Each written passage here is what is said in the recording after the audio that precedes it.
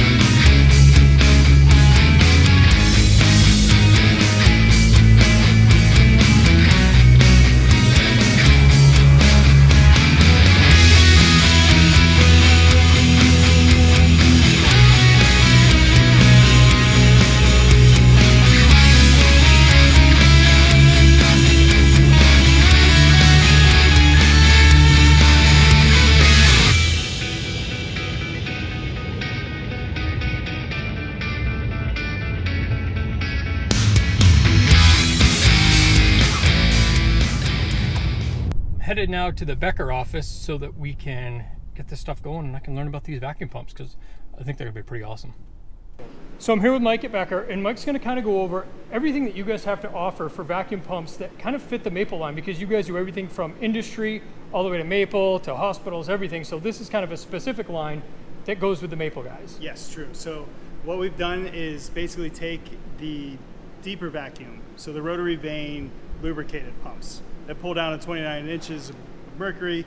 But what we do is we modify it a bit so that it can handle more moisture than most lubricated pumps can in the industry.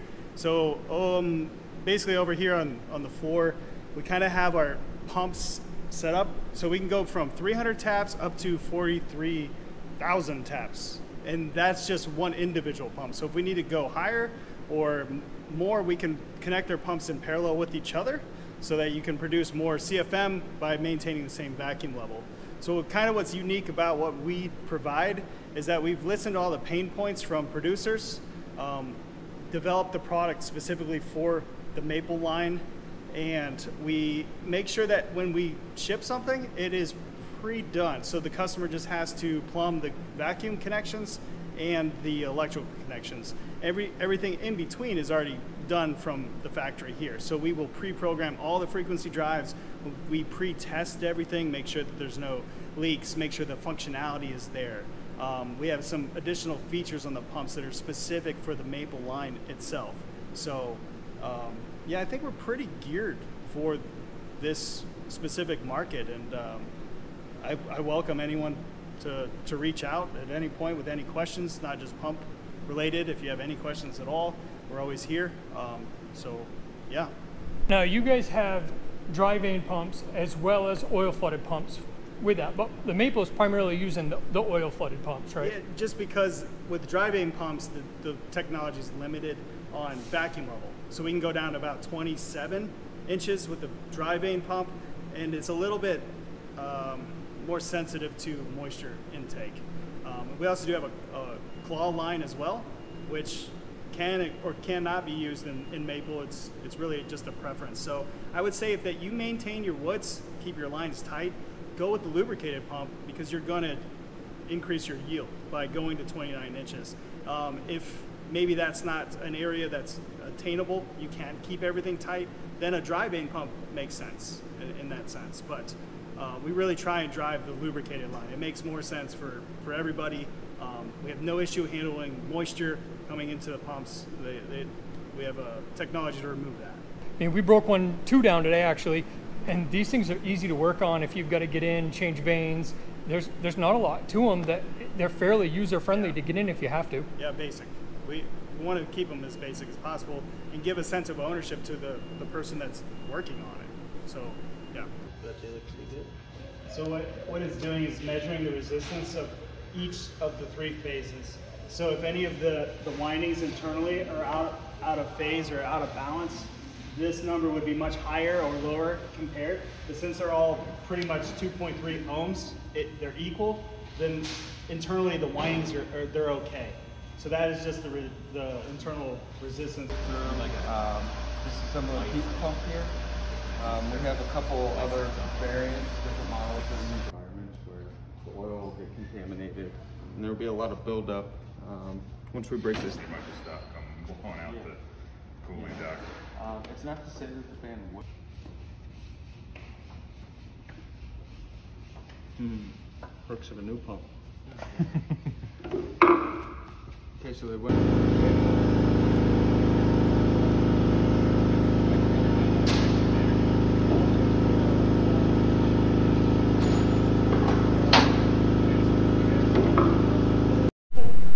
So um, when we do a system, everything's wired here.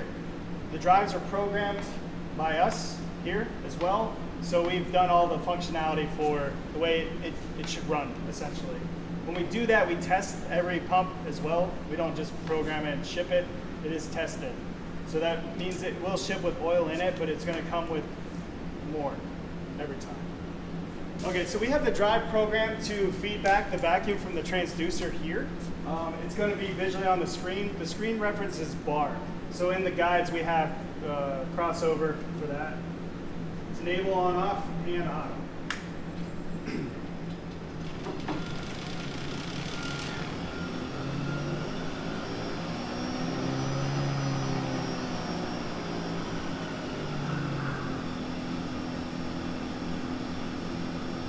Where do you set the vacuum level at?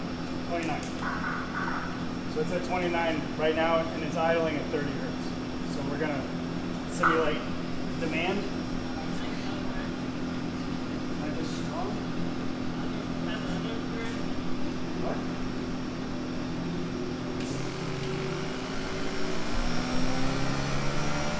So now there's an increased demand, so the pump's going to speed up to try and compensate.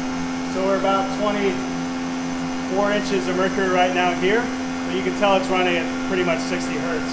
As the demand decreases, it will just ramp back down. On its own, feeding back from here.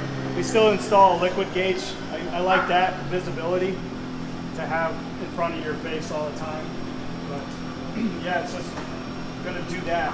This hand mode here, this is in case something happens to the transducer circuit. You can then just physically use the drive buttons to tell it where you want it to run. So you, you can go lower than 30 on the screen, but it won't allow it. It just stays there.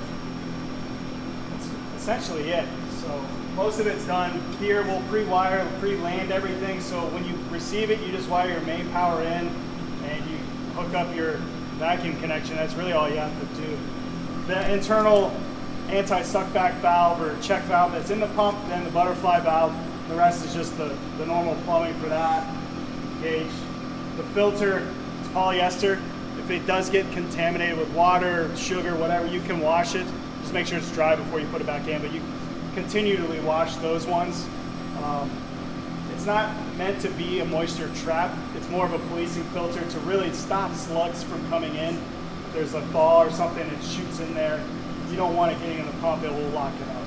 So we try and protect it here on, the, on that side. Yeah. Pretty simple.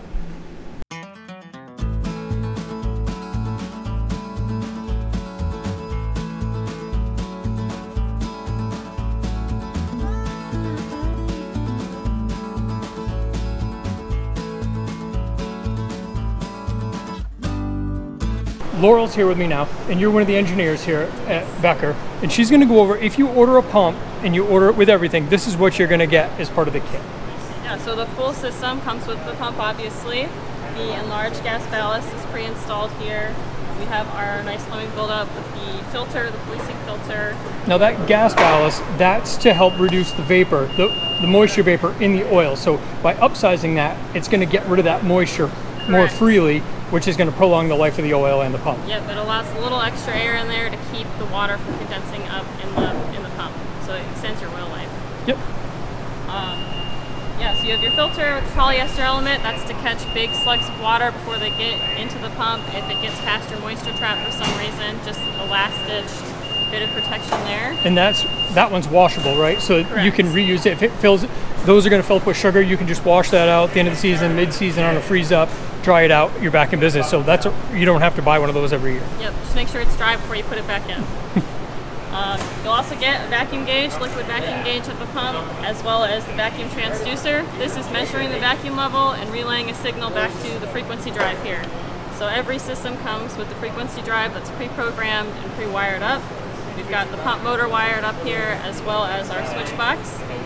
Uh, switch box has an off and on, turns the pump off and on, as well as a hand mode and an automatic mode. So hand mode is just setting the frequency manually. Automatic, it's going to adjust the speed of the pump based on the vacuum level that it's reading.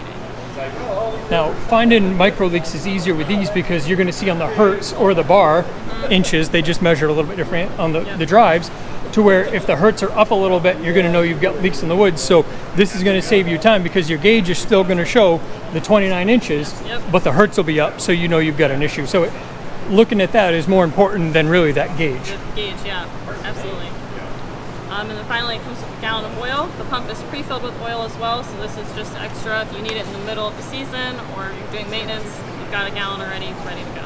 Right, and typically these are going a season on one one oil. You're not having to change oil mid-season. Just Usually, yeah. usually at the end of the season, put new oil in it, put it away with fresh oil, Yep. change the filter, and they're ready to go. Yeah. They're- these pumps are stupid simple. They, I don't know why everyone's not using them. so now I'm in a mad dash to get home because I've got a plane to catch here in a couple hours. So I got to leave the factory, but these pumps are amazing. I mean, simple to work on, simple to break down if there's an issue. We took apart two pumps today. Um, one had an oil leak and one was just to show us, but easy to work on, user friendly. Um, the things that these pumps can do with their drives, with the moisture, these pumps are awesome. They're going to be a game changer for the maple industry, that's for sure. So, um, we, I didn't tell anyone, but we are now a dealer for Becker pumps. So, if you're looking for a new vacuum pump um, for the maple industry, we can definitely help you. Um, we cover Maine. We've got these pumps now. Um, reach out, small guys, go into three phase pumps, the high vacuum. You're going to see a return, and these things will pay for themselves in one or one to two years. It's definitely worth going to three phase high vacuum.